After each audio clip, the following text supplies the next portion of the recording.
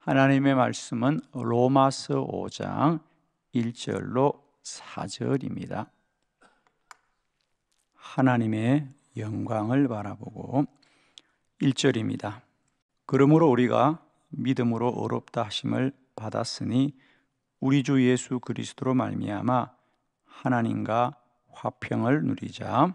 또한 그로 말미암아 우리가 믿음으로 서 있는 이 은혜에 들어감을 얻었으며 하나님의 영광을 바라고 즐거워하느니라. 다만 어, 이뿐 아니라 우리가 환란 중에도 즐거워하나니 이 환란은 인내를 인내는 연단을 연단은 소망을 이루는 줄 알미로다. 아멘. 아멘. 예, 오늘 본문에 보면 어, 우리는 어, 하나님의 영광을 바라보고 즐거워하느니라. 또한 우리가 환란 중에도 즐거워하나니 그랬습니다.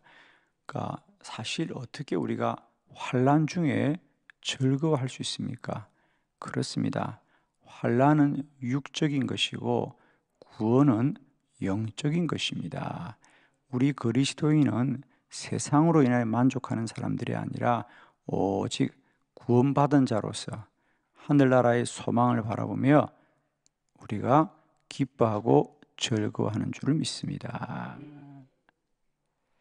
농부는 어, 땀을 흘려 땅을 일구고 씨앗을 뿌리는 수고를 하지만 그것을 원망하지 않아요. 농사 지으면서 누가 아우 내가 노동하는구나. 내가 고생하는구나. 원망하지 않습니다. 그것을 추수할 날들을 기대하며 즐거워하죠. 그렇죠? 우리 그리스도인들도 우리가 이 사실에서는 힘들고 어렵지요. 그러나 우리 삶의 결국은 이 땅이 아니라 주 그리스도 안에 있는 영생인 것을 우리가 바라보기 때문에 즐거워하느니라 즐거워하느니라 아멘이시죠? 음. 어, 저는 어, 우리가 다시 한번 어, 이 복음을 내가 가진 것에 관하여 늘 이 현상과 사실을 능히 이길 수 있는 귀한 복음의 능력이 그 가치와 영광이 늘 우리 안에 충만하기를 바랍니다. 아, 이 즐거워한다는 것이 좀 소극적인 그죠? 어떤 것으로 인하여 즐거워하는데 더 나아가서는 이것이 어떤 소극적으로 아 그것에 대해서 즐거워할 뿐 아니라 더 나아가면 자랑한다. 그래서 저는 오히려 표준 세번역에서는 이 즐거워한다는 말을 자랑한다 그랬어요. 우리 한 표준 세번역으로 똑같은 구절 2절과 3절을 한번 교독해 보면 우리는 또한 그리스도로 말미암아 지금 서 있는 이 은혜의 자리에 믿음으로 나왔고 하나님의 영광의 자리에 참여함에 소망을 품고 자랑을 합니다. 그뿐만 아니라 우리는 환란 가운데서도 자랑을 합니다. 우리가 환란은 인내를 낳고 아멘. 아멘. 환란 가운데서도 이 복음을 자랑한다. 그러니까 이 환란이라는 게 사실은 그냥 환란이 아니라 뭐예요? 복음을 믿기 때문에 초대 교회가 가졌던 환란이거든요. 바울은 복음을 전하는 것 때문에 편하게 살거나 부유하게 살거나 만족하며 살지 않았습니다.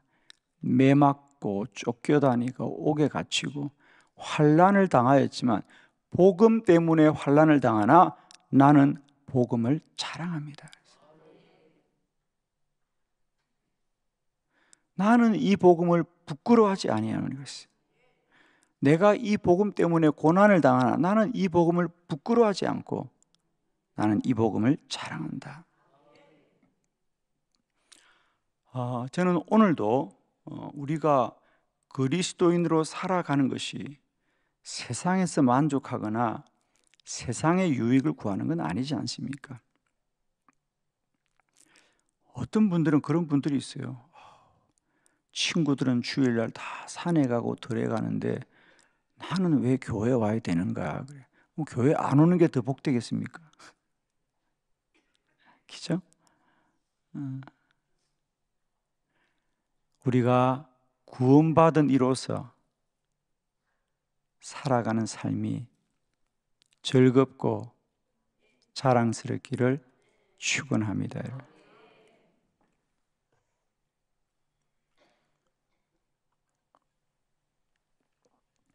갈라디아서 6장 14절을 함께 합독합니다. 시작.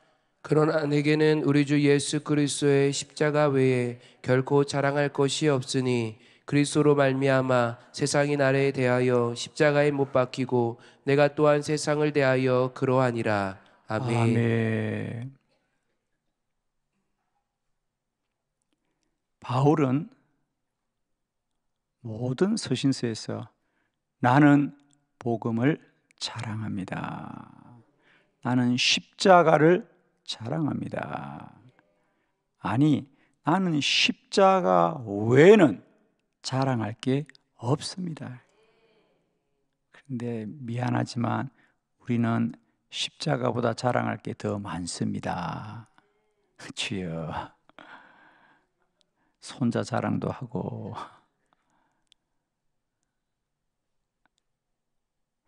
여러분은 과연 내가 자랑할 게 십자가밖에 없습니까? 아닙니다.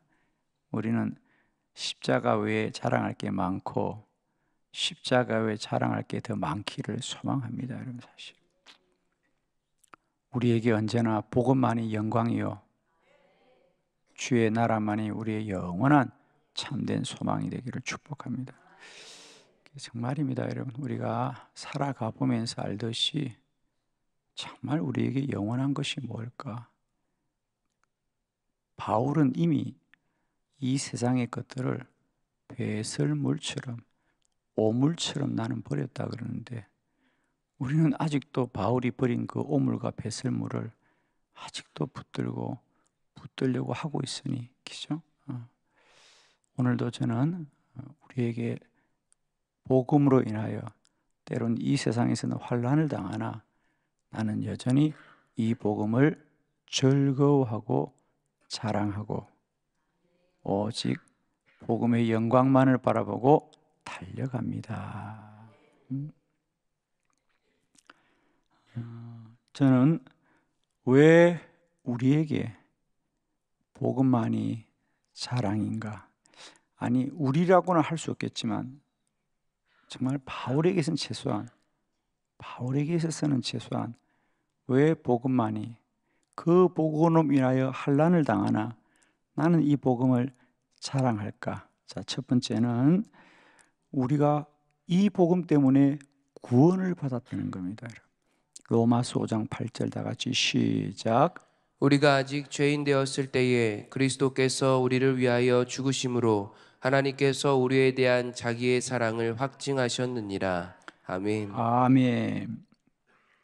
우리가 아직 죄인이 되었을 때도 우리를 구원하셨다는 거지. 자, 우리가 의로와서 구원받은 게 아닙니다. 천국은 죄 없는 사람이 들어가는 곳이 아니라 죄를 용서받은 사람이 들어가는 것입니다. 복음은 우리가 의로와서 구원받은 것이 아니라 죄인이었을 때 구원받았습니다, 여러분.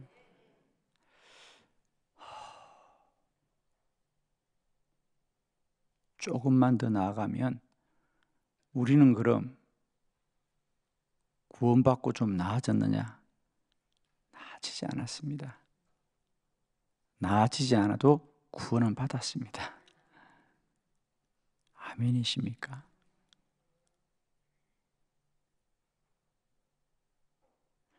그것은 오직 하나님의 은혜입니다. 어떻습니까? 처음 구원받았을 때 하나님의 은혜가 큽니까? 구원받고 살고 살아보면 은혜가 큽니까?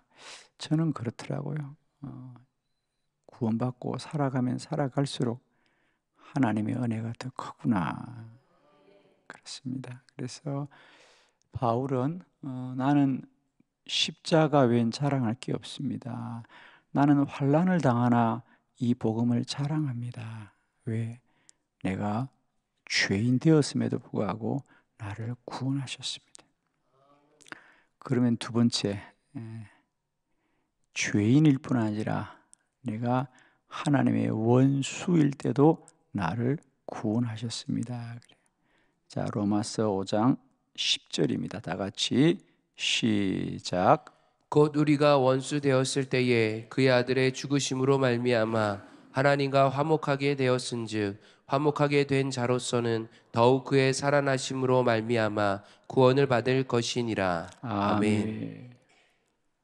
우리는 어, 물론 우리는 뭐 그럴 수 있지만 바울 자신은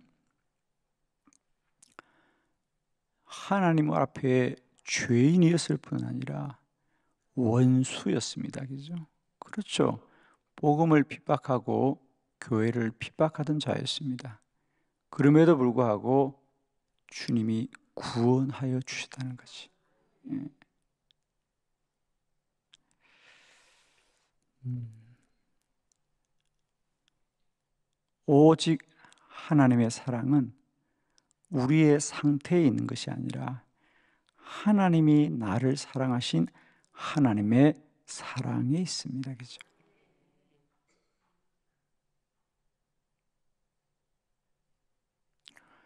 어, 저도 늘 이 바울의 말씀을 보면 내 얘기구나 이런 생각이 참 많이 듭니다. 저도 한때는 교회를 가벼이 여기고 내가 신학교를 갔음에도 불구하고 내가 목사는 안 해 이런 생각을 했던 사람. 그 사실 어떻게 보면 제가 마음적으로 하나님의 일을 경률이 여긴 자였거든요.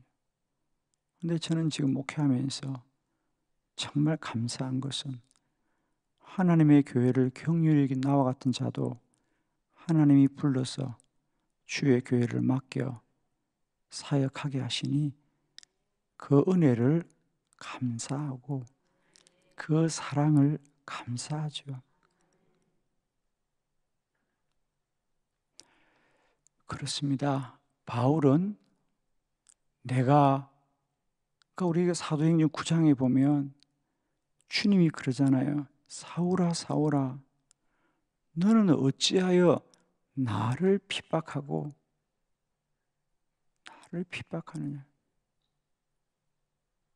주님을 핍박한 자도 그를 택하여서 사도로 삼아 주시니 나는 그 복음을 자랑합니다. 그렇습니다. 우리 모두 다 하나님 앞에 언제나 온전한 건 아니거든요. 그런데 내가 원수 되었을 때도 나를 구원하여 이르게 하시는 하나님의 그 복음을 나는 자랑할 뿐입니다. 세 번째, 살아 나심으로 우리가 구원을 받았습니다. 다시 한번 본문 10절을 함독합니다. 시작. 곧 우리가 원수 되었을 때에 그의 아들의 죽으심으로 말미암아 하나님과 화목하게 되었은즉 화목하게 된 자로서는 더욱 그의 살아나심으로 말미암아 구원을 받을 것이니라. 아멘. 아멘.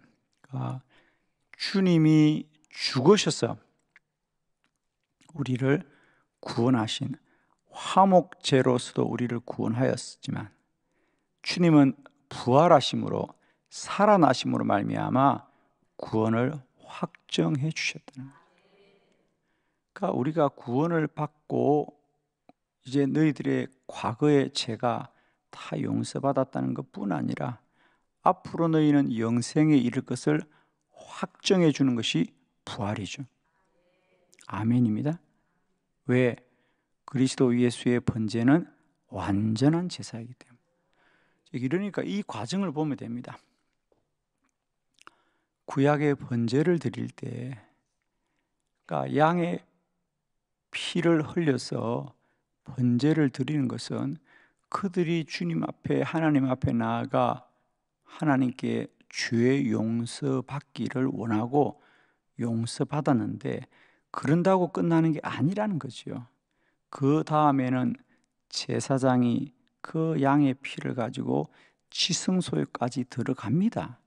지승소에 들어갔다 다시 나와야 그 번제가 확정되는 것인데 우리 주 예수 그리스도는 사망으로 무덤에 들어갔지만 마치 대제사장들이 지승소에서 다시 나온 것처럼 무덤에서 다시 나오시고 부활하신 것은 우리들이 하나님 앞에 드린 번제가 완전하고 정결한 것이 확정된 사건이 부활이다. 우리들의 구원은 결코 실패하지 않는다는 거죠. 우리의 구원은 이미 완전하다는 거죠. 그러니까 우리가 구원을 받았을 뿐 아니라 그 구원이 완전한 구원입니다. 그게 그리스도 예수의 부활이고 살아나심이죠. 그러므로 나는 이 복음을 자랑한다. 쉽게 말하면 내가 이 복음 때문에 육적으로는 어떤 환란을 당할지라도 어떤 고난을 당할지라도 심지어 내가 육적으로는 죽을지라도 내 구원은 영원한 것입니다. 완전한 것입니다. 그러니까 앞으로 살아볼 것 없이 완전하다 그 말이에요, 여러분. 왜? 우리의 구원은 우리의 상태에 있지 않다는 거죠. 하나님이 내가 죄인 되었을 때도 내가 원수 되었을 때도 나를 구원하시고 나를 위하여 죽어 부활하신 것은 우리 구원을 확정하신 거라는 거예요. 그러니까 여러분 제발 뭐 사람이 어떻게 하고 내가 어떻게 하는가 아무 상관없어요. 우리는 이미 구원받아 확정된 자니까.